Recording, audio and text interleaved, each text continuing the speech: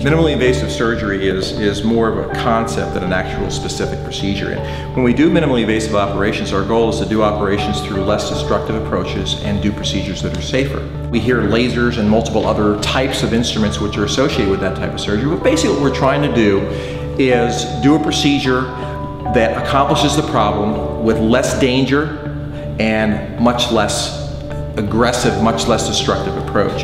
This is an example of an instrument called a bone scalpel that I think is, is a very minimally invasive type of tool. And what it does is it's a, almost looks like a knife. It vibrates at about 600,000 hertz. In other words, it vibrates very, very rapidly.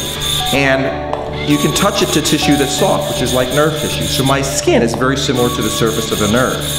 And you can see that I obviously wouldn't be touching something to my finger like this it was dangerous to my nerve. But when we put this bone scalpel on a piece of bone that is, that is pinching a nerve, we can very effectively remove the bone from the nerve without damaging the nerve. So what this device can do is we can get into very small spaces, we can eliminate the bone pressing on the nerve, and we can do it in a way that has very little risk to the nerve. When we use a laser, the laser is going to cut through the bone, and there's no way to stop the laser light from penetrating through the nerve which is on the other side.